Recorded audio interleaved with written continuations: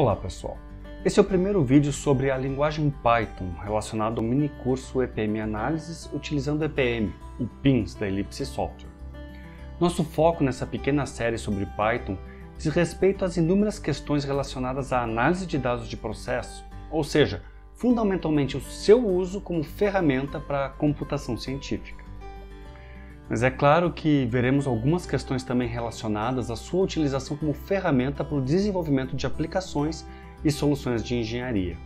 Nesse vídeo, vamos ver uma breve apresentação sobre essa linguagem, justificando a sua escolha para o seu uso em computação científica e iremos aprender os conceitos básicos para sua utilização na prática. Vamos lá?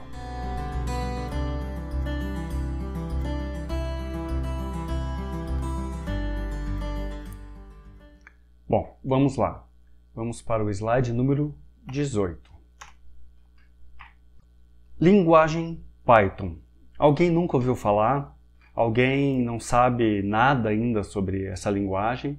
Se você já sabe alguma coisa, como eu comentei no vídeo anterior, podem seguir, clica nessa setinha, sigam para o próximo slide para o mini curso de análise de dados. Mas se vocês ainda não sabem, cliquem aqui na setinha de baixo e vamos para o próximo slide. É uma linguagem de propósito geral, de alto nível, foi lançada em 91. Ela é interpretada multiparadigma de tipagem dinâmica e forte. O que, que quer dizer isso? Quer dizer que eu não preciso declarar, como no C++, por exemplo, uma variável do tipo inteira ou float antes de utilizá-la. Porém, se eu tentar fazer, por exemplo, a soma de um inteiro com uma string, eu vou receber um erro. Ela é uma, por isso que ela é de tipagem forte. Uma das principais características dela é que ela tem uma comunidade forte e ativa, principalmente ou inclusive na comunidade científica. Então tem nesses últimos anos houve um grande crescimento e adesão da, do público de analistas de dados que passaram a utilizar a linguagem Python. Ela já vinha sendo bastante utilizada na parte de processamento de imagens e algumas outras áreas de processamento de sinais, mas nos últimos anos ela cresceu bastante como uma ferramenta de análise em geral. Por se tratar de uma linguagem de propósito geral associada a inúmeras facilidades de computação científica, o Python então é a escolha natural e perfeita para o uso na indústria na composição de soluções completas relacionadas à inteligência operacional. Vamos iniciar então aqui pelo básico. Como o Python é uma linguagem interpretada, temos logicamente um programa que chamaremos de interpretador Python, basicamente é o Python exe. Para usar esse programa existem inúmeras formas que veremos mais adiante, mas por hora vamos ver um dos usos mais simples, que é através de uma interface gráfica, como linha de comando, onde eu vou digitar os comandos Python e o interpretador vai processar esses comandos. Mas antes, é lógico, vocês já devem ter instalado o Python na máquina de vocês. Caso ainda não tenham feito isso, recomendo fortemente utilizar o Python através da distribuição do Anaconda. Vamos ver aqui o Anaconda. Aqui no site www.anaconda.com nós temos então a distribuição da Anaconda, basicamente um grande framework para quem trabalha com data science, com ciência de dados. Para instalar o Anaconda Barbada, vem aqui no Products Individual Edition, aqui no Open Source, cliquem aqui e aqui embaixo tem o Download. E aqui então vocês têm do Python 3.7 a versão de 64 bits, que provavelmente é a máquina de vocês baixem isso e instalem o Anaconda. Lembre-se de deixar marcada a opção para registrar ele no path do Windows, para vocês poderem executar os comandos de maneira mais fácil. Retornando à apresentação. O Anaconda então é uma solução completa para análise de dados que instala, além do interpretador Python, um conjunto de bibliotecas e ferramentas muito utilizadas para análise de dados, além de um gerenciador de pacotes. Quem preferir, pode instalar o Python na mão, python.org, entra lá no site mas depois vai ter que instalar todas as bibliotecas desejadas na mão também, uma por uma. Esse procedimento é que deve ser feito quando formos colocar em produção as nossas soluções implementadas em linguagem Python, mas não é o nosso caso aqui para as análises. Ainda mais se esse é o seu primeiro contato com a linguagem Python. Isso pode ser um pouco trabalhoso demais para iniciantes. Tem um vídeo no meu canal pessoal que eu ensino passo a passo para deixar uma instalação básica de Python prontinha para estes casos de implementação de uma solução de engenharia. O link está aqui na descrição. Bom, Retornando ao Anaconda, então, vamos baixar a versão que nos interessa e instalar. Na data da gravação desse vídeo, já estamos na versão do Python 3.8, porém ainda existem algumas bibliotecas que não foram portadas para essa versão. Por isso, recomendo usar o Python 3.7 e é exatamente essa versão que o Anaconda também oferece. Ok, partindo do pressuposto que você já tem o Python instalado, vamos lá. Quem ainda não tiver, para o vídeo agora e instala o Anaconda. Ou então pode brincar diretamente aqui usando o Python Interactive Shell, da própria Python.org. Então, retornando para o nosso programa com o interpretador Python em linha de comando. No Windows, se eu executar o programa Python.exe no CMD ou no PowerShell, eles vão se transformar numa interface de linha de comando Python. Atenção, isso só ocorre se o Python.exe estiver no path do Windows, caso contrário é necessário antes entrar no diretório onde se encontra o Python.exe. Vamos lá, vamos rodar então no CMD e digitar Python e a mesma coisa no PowerShell.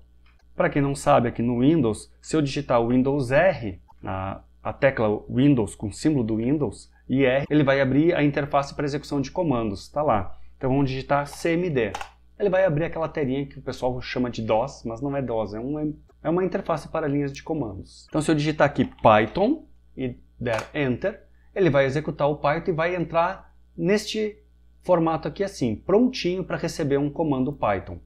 E notem que eu estou com o Python 373, ok? Vamos executar agora também no PowerShell, só para vocês verem. Windows R, PowerShell. Este aqui é o PowerShell. PowerShell é, um, é a versão mais nova, mas já não é tão nova assim, do programa de linha de comando do Windows, o antigo CMD. Vamos executar o Python. Ele abre o mesmo Python 3.7. Okay? Quem eh, instalou o Anaconda e está com essa variável no path do Windows configurado bem certinho para achar os programas, pode também utilizar o IPython, que é um programa de ambiente de linha de comando Python bem mais amigável e com diversas facilidades em relação a esses outros dois, principalmente de copiar e colar. Então vamos lá, Windows R, I, Python. São os três equivalentes. Notem que esses três programas utilizam o mesmo interpretador Python para processar os comandos digitados, porém, cada um tem uma cara diferente. Vamos lá, vamos fazer a importação do nosso primeiro módulo Python. Digitem aí import this e deem enter. Ele executa e a primeira coisa que ele traz é o Zen do Python by Tim Peter. O comando import do Python carrega para o nosso espaço de trabalho os módulos que desejamos usar. Nesse caso, this é um módulo que apresenta a filosofia básica que deve ser perseguida ao utilizar essa linguagem, também chamado de Zen do Python. Como vocês já devem ter percebido, eu prezo muito por essas questões mais filosóficas e conceituais. Elas são os alicerces para construirmos o nosso conhecimento mais sólido e duradouro. Por isso, recomendo quando tiverem um tempo para filosofar, assistirem este vídeo, Design of Python, para entender cada uma desses tópicos que, via de regra, serve como as diretrizes básicas para o desenvolvimento de boas aplicações utilizando a linguagem Python. Destes, eu destaco o primeiro, esse aqui. O belo é melhor que o feio, e isso é uma das características centrais dessa linguagem que, pelo menos para mim, é linda. E essa beleza é que nos motiva a cada vez nos aprofundarmos mais e facilitarmos e embelezarmos as nossas vidas com ela. Vamos seguir aqui. Bom, então vamos lá. Kit básico para análise, os módulos. Indo agora para a parte mais prática, vamos direto ver os principais módulos utilizados em todas as análises que iremos fazer daqui para frente utilizando a linguagem Python. Não recordo se eu já comentei, mas quando eu falar em módulo Python, podem pensar em bibliotecas ou mesmo toolbox para quem vem do MATLAB que nada mais é do que um conjunto de scripts feito em linguagem Python, que ao serem carregados no nosso espaço de trabalho, passam a estar disponíveis para uso. Aliás, para quem vem do MATLAB, o conceito de uso é muito parecido e a curva de aprendizagem de Python para computação científica é bem mais rápida.